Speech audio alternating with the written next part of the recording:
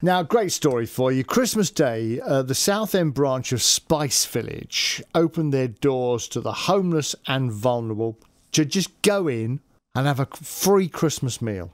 Absolutely free for nothing. Now, on Christmas Eve, they had 110 people who'd been signed up for this. Okay. They then spent a fair amount of time raising awareness, raising more awareness of what was on offer at the Spice Village on Christmas Day. Well, the chief exec, the boss of Spice Village Company, Suleiman Raza, even featured on BBC Essex on Christmas Day to offer his support and spread the word about what was available. How did it go, I hear you ask? How did it go on Christmas Day at Spice Village? Well, I spoke to Suleiman earlier and asked him that question. It was amazing. It was uh, phenomenal. Uh, we were overwhelmed with the response. Yes, it was an amazing day. Now, when we at BBC Essex spoke to you just before Christmas, you were expecting 110 people. How many did you get in the end? Oh, we were overwhelmed with the response. Uh, we had over, in fact, over 200 homeless and elderly people turn up on the day. Oh, over 200? we had to cook more, yes. Yes, and we had to cook uh, more and more to feed these people throughout the day, yes. And just let's go back a little bit. What was the thinking behind this? Why did you do this? Obviously, Christmas is like a special day. So we decided to spend our special day with these homeless and elderly people across uh, Southend. As you know, the homelessness is on the rise throughout the country, especially in Southend. In fact, I was told by a local charity that it's uh, almost uh, risen by 28% compared to the last year. So we thought we must do something for the community, and feeding the homeless people was probably the best thing we ever did. How much preparation did it take to feed 200 people? I mean, how many sittings did you have to have? So our restaurant had 52 seats.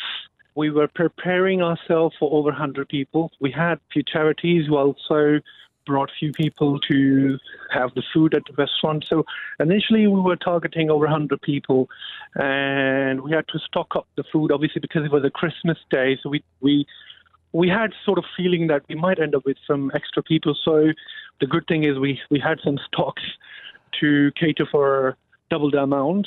So we were preparing for it at least a couple of days before we started preparing ourselves for it.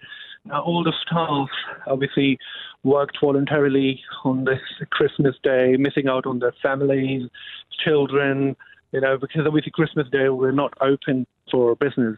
But this time I, I'm so glad and proud of our team, you know, to come out and support this uh, amazing cause. And, and what was the menu?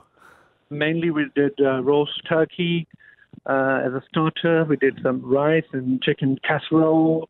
Then we had uh, dessert as a cream caramel pudding. And we served some hot drinks, soft drinks, and some of the odd ones wanted to have some rice with um, butter chicken and chicken tikka masala and stuff. So yeah, that kind of menu, yes. So it was a full range of stuff, wasn't it? And, oh, we had quite a and, and what was what was the reaction like from the people who were your guests that day? What did they say to you? We had quite a few elderly people, as well as homeless people, uh, who had literally had no one around in the family and um, had nowhere to go. And once we fed them, they were so happy. Some of them literally had tears in their eyes you know, thanking our team at Spice Village. There were some heart touching scenes and which are priceless. I mean, they're very difficult to describe. I mean, how we felt and how all these homeless people felt because some of them had no one to talk to. And I think the fact which made them so happy was they were like some voluntary people we had in our restaurant who were there talking to these people. Some of our staff members were keeping them engaged. So they had no one to talk to, and some of them even stayed like two two hours in the restaurant, sitting down, talking to us, having the food. So it's like, it's like uh, unbelievably amazing stuff, which which is difficult to describe. You know. And for you and your team, how did you feel when the last guest left you? Oh, yes. I think I think our team, everyone felt so so good. Feeding the homeless and elderly people was the best thing we did. I think we're so thankful to the local community charities, social media who spread the word around. Uh, to have all these people from Southend who have nowhere to go mm. was, was probably the best thing. It's amazing film. And it's, like I said already, it's something which we cannot bring into our words. I mean, the other thing I'd like to, you know, thank my staff for supporting this, you know, throughout the day, and not to worry about extra people turning up. So this is like amazing stuff. Suleiman, what, what, if you don't mind my asking, what is your faith? I'm a Muslim, and um, majority of our team uh, in the restaurant is also Muslim. And this is a Christian festival. Yes, yes, yes, yes.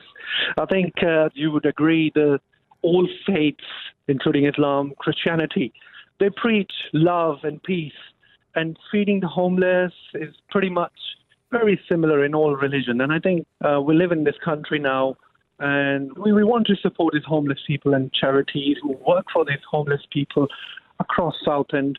And, and another thing I'd like to mention is that we want to we want to do something for eliminating this rough sleeping on the road as well. Because in Southend, especially, every time I'm driving around, I see, you know, every now and then these old people, you know, lying down on the floor, sometimes in bunches, sometimes, you know, they're like isolated people. So it's like, I, I don't think it's, it's to do anything with the religion. It's, it's, it's to do with the humanity. And as a person myself and, and representing my restaurant, you know, I represent humanity. I represent love, peace, you know. This is something we feel good to do, you know. It's just something, when you're giving something back to the community, you feel so good about it. Is this something that you might consider doing again next year? Oh, yes, definitely. By looking at the response, we're looking to make this uh, No One Eat Alone on the Christmas Day like an annual campaign. So we're definitely going to do it again. But also, I'm, I'm also thinking of to start a local and a national campaign now to engage some of the other restaurants across Southend as well as the country to participate in this campaign so that every year on the Christmas day, no one eats alone. And I can assure you that if every single restaurant starts participating in this, there will be no single homeless person without food on the Christmas day in Southend. But not not just in Southend, but all over the UK. And by doing this, I think we can also contribute towards uh, rough sleeping, which is also on the rise in, in the UK. So, yes, definitely we're going to make this an annual campaign as well as a national campaign. Suleiman Raza uh, speaking to me earlier on from Spice Village uh, in Southend, and well done to them for all the work they did over the Christmas period and all the staff there as well. Fantastic.